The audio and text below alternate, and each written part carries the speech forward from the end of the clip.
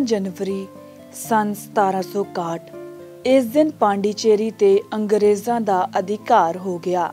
ਇਸ ਤੋਂ ਪਹਿਲਾਂ ਪਾਂਡੀਚੇਰੀ ਉੱਤੇ ਫਰਾਂਸ ਰਾਜ ਕਰ ਰਿਹਾ ਸੀ।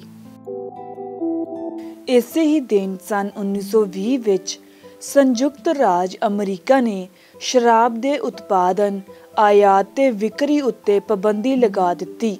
ਫਿਰ ਬਾਅਦ ਵਿੱਚ 5 ਦਸੰਬਰ ਸਨ 1933 ਵਿੱਚ ਇਸ ਪਾਬੰਦੀ ਨੂੰ ਖਤਮ ਕਰ ਦਿੱਤਾ ਗਿਆ। ਅੱਜ ਦੇ ਹੀ ਦਿਨ ਸਨ 1979 ਵਿੱਚ ਈਰਾਨ ਦਾ ਸ਼ਾਹ ਜਿਸ ਦਾ ਨਾਮ ਮੁਹੰਮਦ ਰੇਜ਼ਾ ਸ਼ਾਹ ਪਾਲਵੀ ਸੀ। ਆਪਣੇ ਪਰਿਵਾਰ ਸਮੇਤ ਈਰਾਨ ਛੱਡ ਕੇ ਮਿਸਰ ਚਲਾ ਗਿਆ ਕਿਉਂਕਿ ਈਰਾਨ ਦੇ ਫੌਜੀਆਂ ਨੇ ਸ਼ਾਹ ਦੇ ਰਾਜ ਖਿਲਾਫ ਬਗਾਵਤ ਕਰ ਦਿੱਤੀ ਸੀ। 16 ਜਨਵਰੀ ਸਨ 1998 ਇਸ ਦਿਨ ਸਿਗਰਟ ਦੀਆਂ ਪੰਜ ਪ੍ਰਸਿੱਧ ਕੰਪਨੀਆਂ ਨੇ ਤੰਬਾਕੂ ਉਦਯੋਗ ਸਥਾਪਿਤ ਕਰਨ ਦੇ ਲਈ ਅਮਰੀਕਾ ਦੇ ਟੈਕਸਸ ਰਾਜ ਨੂੰ 14.5 ਬਿਲੀਅਨ ਡਾਲਰ ਦੇਣਾ ਮਨਜ਼ੂਰ ਕੀਤਾ।